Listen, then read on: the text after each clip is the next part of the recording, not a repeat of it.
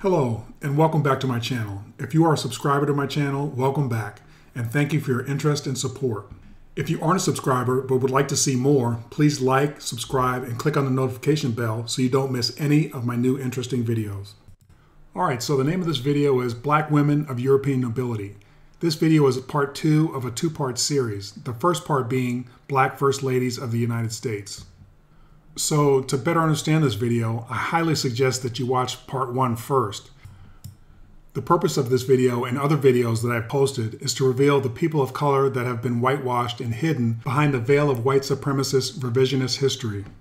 There are two words that I define in this video. Those words are complexion and brunette. Understanding what both words mean is very important. You can find a link to the first video below in the information section. I have received several comments on previous videos stating that complexion does not mean skin color and brunette only refers to hair color. I also indicated in part one of this video series the term brunette was changed in modern times to only mean hair color. This change began to occur due to the miseducation received in schools by proponents of the eugenics movement and the surge of white supremacy at the turn of the 20th century.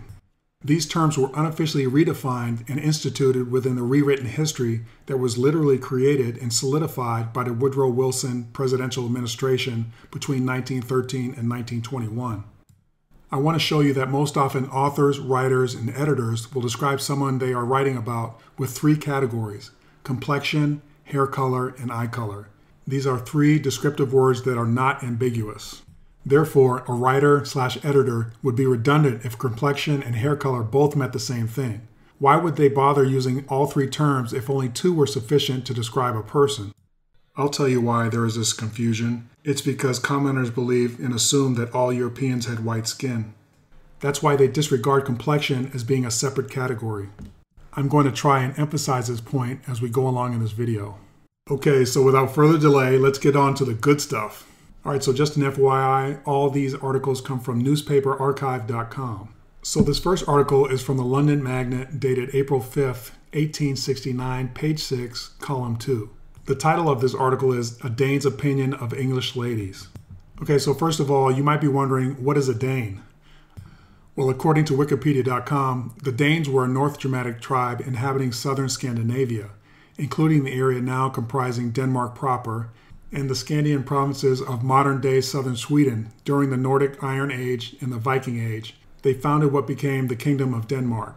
Okay, so now that we understand that he is from Denmark, the article goes on to state Everyone expects in the description of an English lady to find her represented as agreeable, elegant, and graceful, or, to sum it all up in one English word, ladylike. The ladies of other countries may perhaps possess intrinsically and extrinsically many other excellences such as greater beauty, more dedicated wit, and higher musical talents, more through learning, quicker apprehension, softer womanliness, etc. But an English lady bears away the prize in this particular. She is the most ladylike. English women are not remarkable for great personal beauty. Among the thousands of faces to be daily met with in the streets, it is natural that some pretty faces will be found, but there are also very many which are absolutely ugly. The most general type of face among English women is a fine oval with small, delicate features, lively eyes, brunette complexion, black eyebrows, and dark hair reminding one of the Norman blood which flows in their veins. But there are so many differences of form, feature, and complexion that it would seem as if there were a mixture of all possible nations in their style. The sound of the thick sole and high heel is as regular as if one beat time for it and the steps are so short but rapid that one is obliged to take care not to be left far behind should one wish to accompany the fair pedestrian on a shopping or walking expedition. They ride extremely well, looking as if part of the horse and knowing how to adapt themselves to its every motion, and are also well skilled in graceful management of their flowing riding habits. In dancing, they are extremely graceful. So, according to the author, English women are the most ladylike. Then he mentions the most general type of face among English women are described as a fine oval, small delicate features, lively eyes, brunette complexion, black eyebrows, and dark hair reminding one of the Norman blood which flows in their veins. Okay, so as a side note, the author feels the physical attributes of English women are aligned with the Norman attributes. So, what is Norman blood? Well, according to Google, Norman, member of those Vikings or Norsemen who settled in northern France or the Frankish kingdom, together with their descendants, the Normans founded the Duchy of Normandy and sent out expeditions of conquest and colonialization to southern Italy and Sicily and to England, Wales, Scotland, and Ireland. Okay, so back to the article, which further goes on to state that there are so many differences of form, feature, and complexion that it would seem as if there were a mixture of all possible nations in their style. When the author mentions differences in complexion, in my mind, that means that the English women range from light to dark. As we see in women of color today, they come in all shades. So, just to remind you, this was published in London in 1869, four years after the end of the American Civil War. Let me also remind you that the author, when referring to English women, stated that his description of them was of the general type, or as I would say, the typical type of English woman. I'm not sure if any of you have seen the play Hamilton or the TV show Bridgerton. Those shows are not far off the mark. Actually, they are being extremely conservative as to how many people of color were present at that time. As I've come to find out, people of color have run the gamut from the pinnacle of royalty to the most abject, impoverished person. Okay, so let's move on to the next article from the Philadelphia Times, dated March 11th, 1888, page 3, column 1. So, the title of this article is French Women, the Leaders of Society Under the Republic, Madame Carnot's Salon, Grace, and Charm of the First Lady of the Land, wives of leading members of the government. Okay, so I'm going to start reading where it says, a few years younger in years, though not in aspect, than Madame Carnot, Madame Floquet has a brightness and activity that distinguishes her from her colleague in the Faubourg Saint Honore, the two being otherwise in many respects not entirely without resemblance. Madame Floquet is much of the same coloring as the president's wife. Both are essentially brunettes, with the same raven's wig hair and lustrous dark eyes, the same soft southern brown complexion. But there is a radiance in the eyes and around the lips of Madame Floquet that give her a varying charm of expression, particularly her own. Madame Carnot's special attribute is serene dignity, Madame Floquet's irresistible winning grace. Okay, so I'm going to stop reading right there because I've read obviously what I wanted you to hear. So if we look at what I just read, right away we know that Madame Floquet and Madame Carnot, who was the French president's wife, are much of the same coloring. Both are essentially brunettes with the same ravenswig hair, lustrous dark eyes, and same soft southern brown complexions. At this point, does anyone think the author is only talking about their hair color? I really hope not. So let me make this clear. The president of France's wife in 1888 was a woman of color, and both women in the article are considered very beautiful, charming, and dignified. Okay, so the French people were generally people of color. There's plenty of documentation that will back that up. I'm also going to create a video on the French at some point. On another side note, it is my belief that the French and their nobility conquered Haiti and never left. The Haitian generals we are familiar with were not Haitian natives.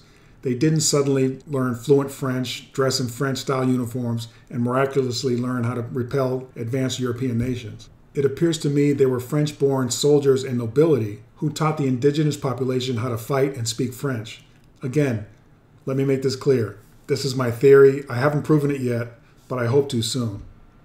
All right, so moving on to the next article, which is from the South Haven Messenger, dated October 25th, 1895, page 7, third column. So the title of this article is Duke and Heiress Marriage of a Vanderbilt to a Churchill. So I'll start off reading where it says Mrs. Consuelo Vanderbilt is the daughter of William K. Vanderbilt and the granddaughter of the late William H. Vanderbilt. She is about 18 years old, very tall, very vivacious, and quite good looking, with dark hair and a pronounced brunette complexion. She is the heiress of one of the greatest fortunes in the world and has only one care in life that her father and mother are divorced. Of course, it can scarcely be expected that so young a girl should have as yet very pronounced characteristics, but her friends say she has much sweetness of disposition and charm of manner, and her executive ability has already been tested.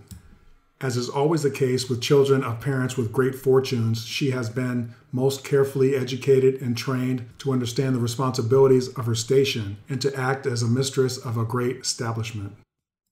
All right, so in this article, right away, I recognize the name Vanderbilt as one of the wealthiest families in the United States during the 1800s into the 20th century. So back to the article. It states that Consuelo Vanderbilt was 18 years old, very tall and very vivacious, and quite good looking, with dark hair and a pronounced brunette complexion. Do you see where the author mentions hair color first and then states that Consuelo has a pronounced brunette complexion, meaning two separate features? Does anyone doubt that a pronounced brunette complexion is not referring to her skin color? Okay, so I have another bit of evidence regarding the Vanderbilts. Here is another article from the Wisconsin State Journal dated November 8, 1889, column 5. All right, so this article goes on to read George Vanderbilt, who is about to build the splendid country seat at Asheville, North Carolina, is the youngest son of the late William H. Vanderbilt. He is a bachelor and is now about 27 years old. Is tall and slight in figure and of a dark complexion, hair, and eyes. He cares nothing of society and is most happy when in his library with his books. His legacy from his father was about 7 million, together with a library and many of the pictures in the Vanderbilt Gallery. Okay, so George Vanderbilt was the uncle of Consuelo Vanderbilt, and he too, as you can see in the article, has a dark complexion, hair, and eyes. Again, here you can see that the author describes George with three separate categories dark complexion, aka skin color, dark hair, and dark eyes. Something else that is apparent to me is that both uncle and niece have dark complexions. Therefore, their parents or one of their parents had dark complexions. And their parents before them had dark complexions, of course. And as I'm making abundantly clear, the photos we are presented with don't tell the same story. Please keep that in the back of your minds. Also, if you haven't seen my video called Vanishing Black History, check it out it will provide you with some of the insight as to what I believe happened to the photographic and written records. All right, so moving on to the next article, and this one is from the London Mainly About People newspaper, dated September 17th, 1904, page 12, column 2. The title of this article is The Countess of Harrowby. Ultimately, I'm sure someone's going to comment and say that I screwed up the pronunciation of that last name, but that's what I'm going by. Harrowby, and if that's wrong, I apologize. All right, so this article starts off Lord and Lady Harrowby have returned to Stanton Hall, their place in Staffordshire. Lady Harrowby was Miss Mabel Smith, daughter of the late William H. Smith and of his wife, Lady Hambleden, who is still alive. Before her marriage, she bore the title of Honorable as the daughter of a peeress in her own right.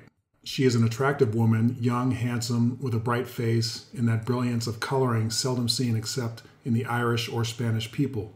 She has a deep, dark blue eyes, brown hair, and a brunette complexion. In fact, her appearance reminds one of Lady Cynthia Graham and of the dead Duchess of Leinster. Lady Harrowby has two children a 16 year old daughter, Lady Frances Ryder, and the young heir, Lord Sandon, who is now nearly 12. She is a devoted mother and spends the greater part of her life in the country. Okay, so we can see that Lady Harrowby was described as attractive, young, handsome, with a bright face and a brilliance of coloring seldom seen except in the Irish or Spanish people. Now, who thinks the author, when using the phrase brilliance of coloring, is referencing her hair color? He is obviously describing her skin color. The author also breaks her description down into three separate categories dark blue eyes, brown hair, and a brunette complexion, aka brown complexion. When the author mentions brilliance of coloring, I believe they are saying she has a very rich brown, blemish free skin. The author goes on further to say that this coloring can also be seen in the Irish and Spanish people. Now, I haven't mentioned the country of Spain very often in my videos, but I plan to soon. However, I have spoken extensively about the Irish and how many of them were very dark skinned aka Black Irish. All right, so this next article I want to show you comes from the London Mainly About People newspaper, and it's dated October 11th, 1902, page 10, column 1. Okay, so the title of this article is Sir John and Lady Milbanke, and it goes on to state Sir John and Lady Milbanke have arrived in London. Lady Milbanke was Miss Leila Crichton, daughter of Colonel Charles Crichton and niece of Lord Erne. Her beauty has been remarkable from childhood, and she affords an excellent type of the well known Irish loveliness. Her hair is very dark, her eyes large and expressive, and she has a brilliantly tinted brunette complexion.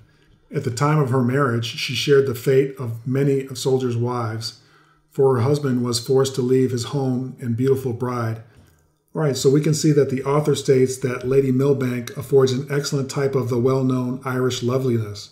Remember, I just mentioned dark skinned Irish, aka black Irish, in the last article. Now, this author basically says the same thing about this lady. The author also breaks down her description in three parts, stating that her hair is very dark, her eyes are large and expressive, and she has a brilliantly tinted brunette complexion. Again, the author is not talking about her hair, her brilliantly tinted brunette complexion is her skin. All right, so moving on to the next article, which comes from the London Mainly About People newspaper, dated August 22nd, 1902, page 22, column 2. And this article is titled Lady Tweeddale. All right, and this article goes on to read The marriage of Lord and Lady Tweeddale is a case in point. The Marquisate of Tweeddale counts as one of the oldest and most important in the peerage ancient in lineage, and sufficiently well endowed with lands and money. In the spring of 1878, the present Lord Tweeddale, when still Lord William Hay, met the young and lovely Signorina Candida Bartolucci, and at once fell desperately in love with her. She was a daughter of Signor Vincenzo Bartolucci of Cantano near Rome, a man well known in the musical society of both London and the continent. Lady Tweeddale is still a very handsome woman, and in those days must have had a rare and radiant beauty. Tall, dark, with masses of dusky hair, a brilliant brunette complexion, and a queenly carriage and bearing, this young Italian girl looked like the traditional empress of a storybook romance. All right, so I'll leave it there. Let's look at how the author describes her. He calls her tall, dark, with masses of dusky hair, a brilliant brunette complexion, he further says she has a queenly carriage and bearing. This young Italian girl looked like the traditional empress of a storybook romance. Let me bring your attention to the fact that, and I've said this before, that women of color and their beauty were celebrated prior to the early 20th century. So let's take a look at this next article from the Philadelphia Times, dated July 28, 1889, page 1, column 2. This article is titled A Royal Wedding the Earl of Fife married to Princess Louise of Wales, then under the subtitle of Route of the Procession.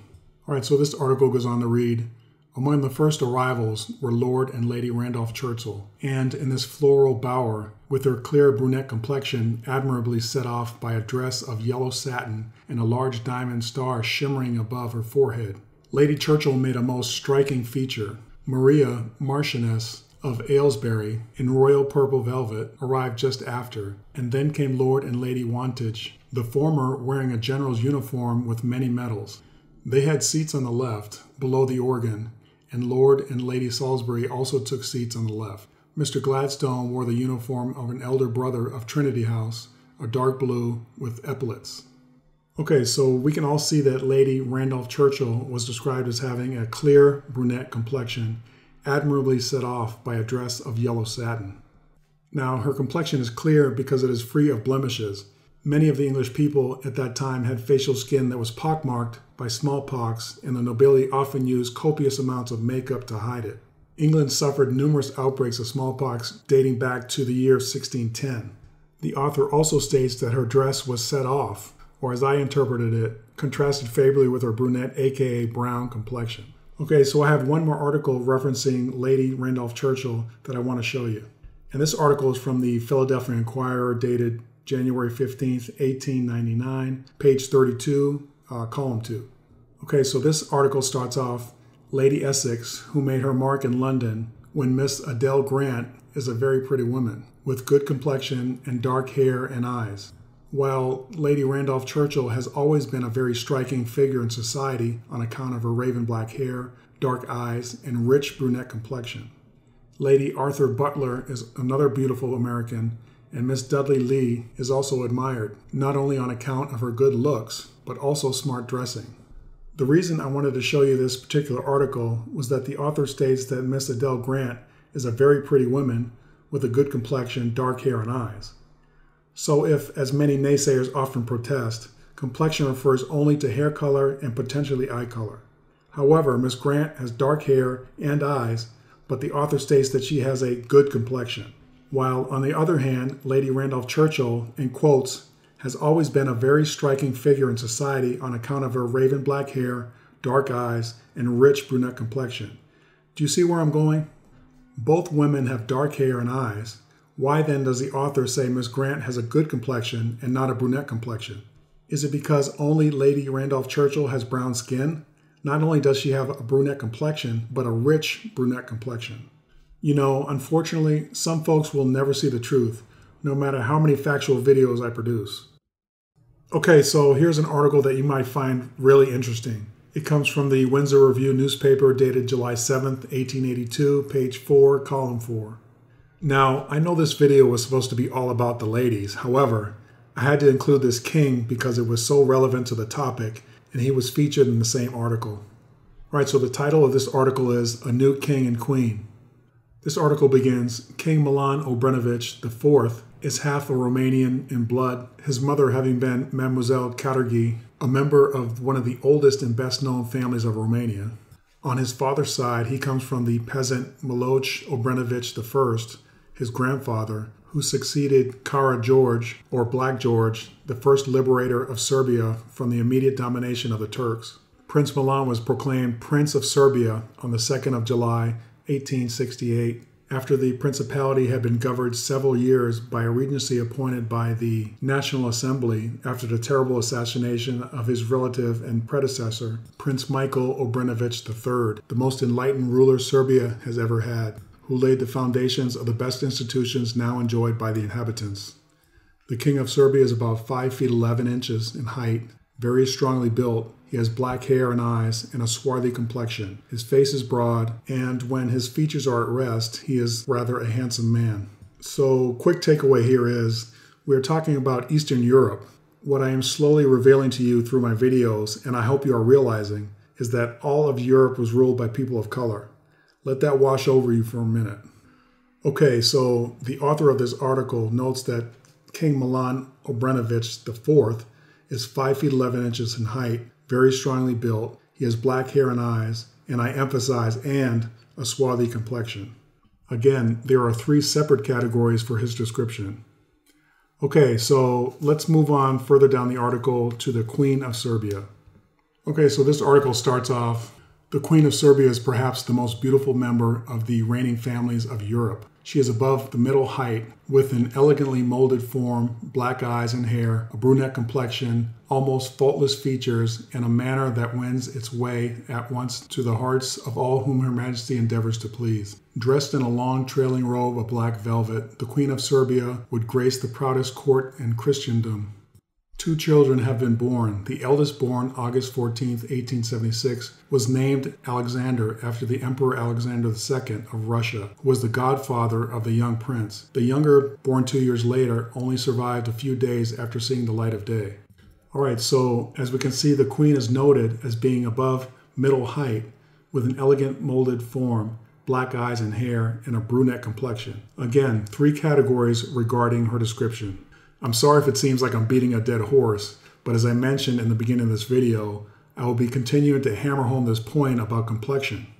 All right, so moving on again, we're looking at an article from the London Mainly About People newspaper dated May 30th, 1903, page 21, column 2. All right, so this article is titled Lady Mildred Cooke.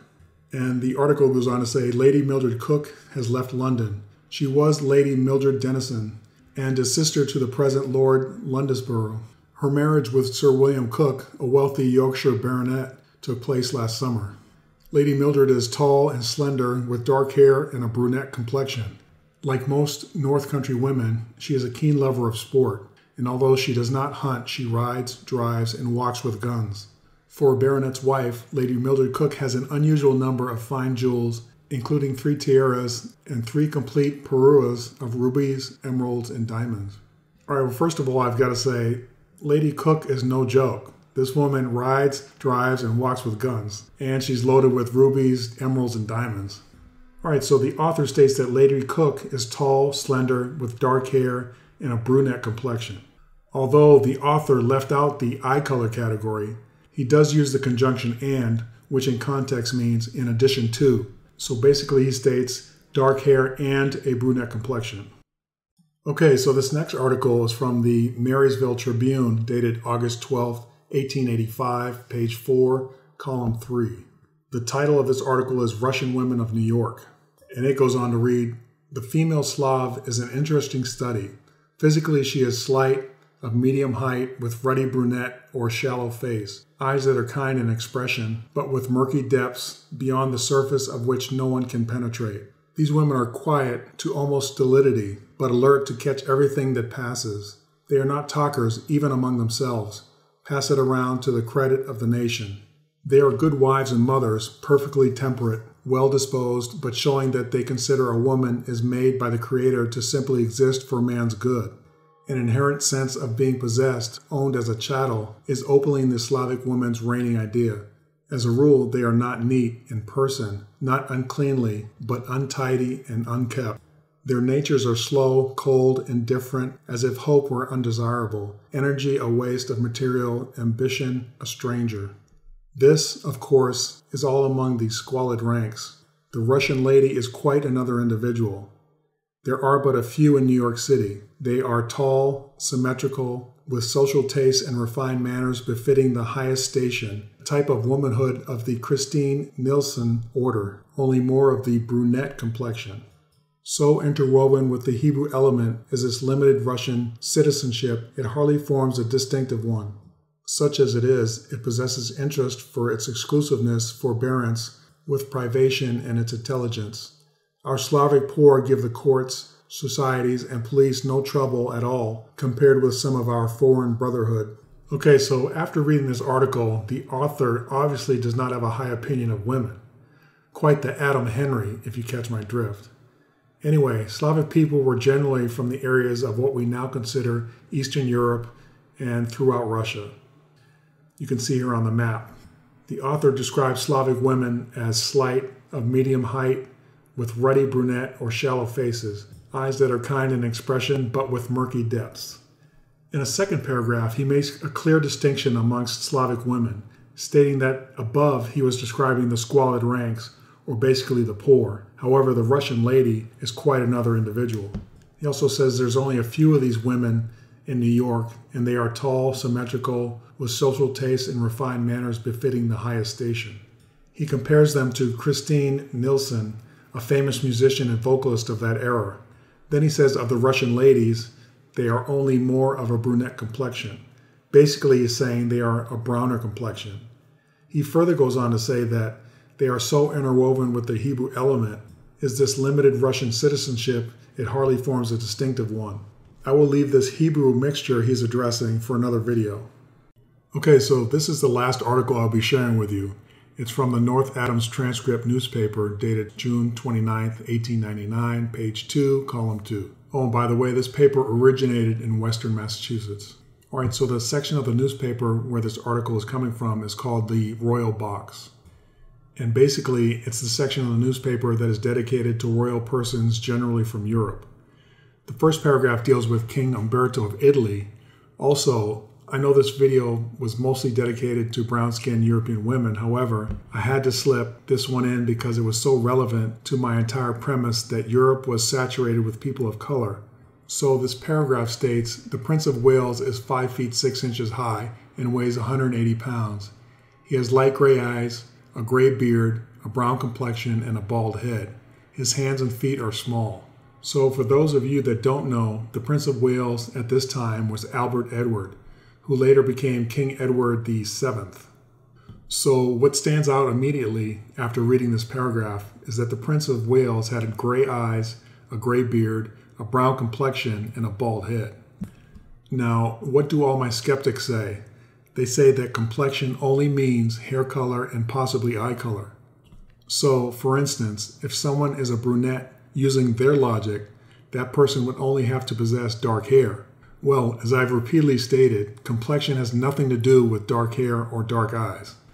Looking at the article, Albert Edward was not only bald headed, he had gray eyes and a gray beard, yet he is still listed as having a brown complexion. I don't know about you, but I think that was a great example. Not to mention that we were talking about Albert Edward, one of the kings of England. Anyway, I had many more sources which revealed European women with brunette, aka brown skin, but as I mentioned, I'm trying to keep these videos down to around the 30 40 minute range. There is one other issue that I wanted to mention. I've received several comments from viewers that believe that the photographs or paintings I'm showing you are people that are black but passing for white. That is not the case at all. What I am sharing with you is that these photographs, etchings, and paintings are not the people I'm describing to you, and that's the whole point of many of my videos. The legitimate photographs, etc., have been deliberately switched with people that are actually white. The task of switching of photos may seem like a Herculean undertaking, but if you watch my video, Vanishing Black History, you will hopefully see how this deception probably occurred. As we can see in the news just recently, National Archives representatives had to go down to Mar-a-Lago, Florida, Donald Trump's residence, to retrieve 15 boxes of classified documents taken from the White House. My point here is that if this can occur in our times, you can imagine what occurred in the past when there was no real oversight, no social media, no centralized national archives, and no internet, etc. What I'm essentially saying is that it would be much, much easier to get away with tampering with documents and photos back in the early to mid 20th century than it would be today. Well, I want to thank you for watching. A big thank you to my subscribers and to all you new subscribers. I have a lot more videos coming your way. The next video will be a very shocking and enlightening one, so please stay tuned. All I will say about it is, a lot of what you and I thought we knew about the Southern Confederacy is wrong.